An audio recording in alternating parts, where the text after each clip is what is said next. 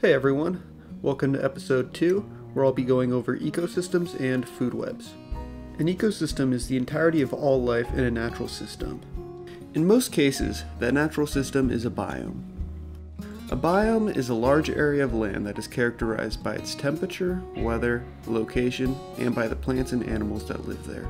On Earth, we have both biomes on land and underwater. A biome on land is also called a terrestrial biome.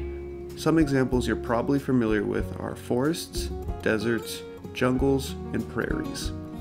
Underwater biomes are also called aquatic biomes and can be further separated into two categories, being freshwater and saltwater.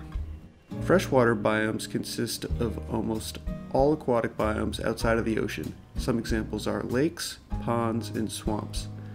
Saltwater biomes are mainly in the ocean, the ocean has different biomes depending on how deep underwater you go.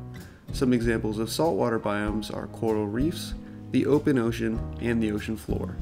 Ecosystems are usually enclosed systems, meaning that wildlife rarely enters or leaves. A good example is a pond, where aside from migrating birds, most of the life remains in the pond and never leaves. In an ecosystem, all of the wildlife is connected in some way or another. A good way to look at these connections are through food chains. A food chain shows what eats what in a simple path. I'll show an example on screen and walk you guys through it. First, we always have our primary producer, which is typically a plant. A primary producer is an organism that does not consume another organism and instead lives off of sunlight or chemicals, but in most cases sunlight. In our example, our primary producer is a patch of grass. Next on the food chain is a herbivore, in our case being a grasshopper. Herbivores only eat plants and are always the second organism in a food chain. This second organism is also called the primary consumer since it is the first consumer in the food chain. Next is our first carnivore being a frog. Carnivores only eat meat, meaning they are usually predators. A predator is an animal that hunts other animals, with the target being called prey. Not all carnivores are predators though, they're also scavengers, which I'll get back to later in the video. Continuing on the food chain, the frog is prey to the snake, and lastly, the snake is prey to the eagle. The animal at the top of the food chain is also called an apex predator and is not hunted by any other animal in the ecosystem. When it comes down to the populations of each species, or in other words, how many individuals live in the ecosystem, the numbers decrease as you get higher in the food chain. If you stack the population amounts, it would look like a pyramid with the apex predator at the top. While a food chain shows one example of the connections between wildlife and an ecosystem, a food web shows all of the connections. The arrows can make it look a bit confusing, but it's pretty similar to a food chain. In the bottom left we have our primary producers, just like in the food chain. Now we have two herbivores, being the grasshopper and the deer.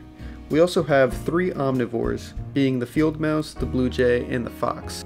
Omnivores are animals that eat both plants and animals. This means that these animals are in different levels of the food chain depending on the path.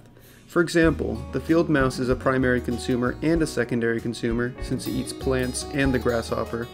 Unlike the food chain I showed before, there are paths after the apex predator that go to scavengers and decomposers. Scavengers are carnivores that eat other dead animals, in our example being a turkey vulture. Decomposers are similar to scavengers, except they consume any dead matter, which includes dead plants and fungi as well. The most common decomposers are worms, mushrooms, and some bacteria. I'll have an episode specifically on decomposers later in the series. While I only have arrows from the eagle going to the scavengers and decomposers, there should be arrows from every animal going to them, but that would make the food web an absolute nightmare to look at. Food webs look different depending on the ecosystem, but they all follow the same basic principles. There's always a primary producer at the start, which is then followed by a herbivore, a few levels of carnivores, and then the decomposers at the end. I hope you guys have a better understanding of what an ecosystem is after watching this. Next episode I'll be going more in depth about animal habitats. Thanks for tuning in, and see you next episode.